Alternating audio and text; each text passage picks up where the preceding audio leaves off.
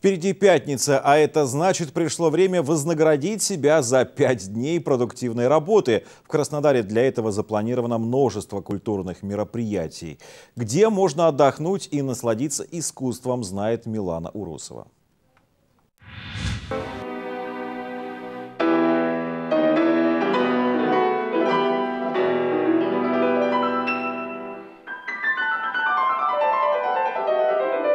В самом сердце Краснодара зазвучат Екатеринодарские музыкальные вечера. Ну а подробнее о том, что для вас подготовили артисты, расскажет Мария Тернавская. Здравствуйте. Здравствуйте.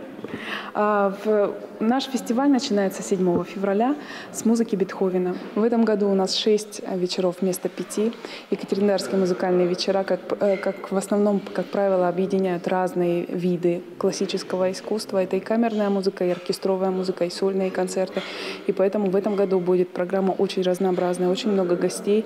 Сейчас с каждым мы выстраиваем гастрольный график и уже готовимся их встречать. У каждого очень интересные, необычные программы. Часть программ посвящена композиторам отдельным. Спасибо огромное. Ну а при выходе из органного зала, кстати говоря, вы попадете на необычайно красивую экспозицию. «Симфония весны» известного скульптора Андрея Асташова.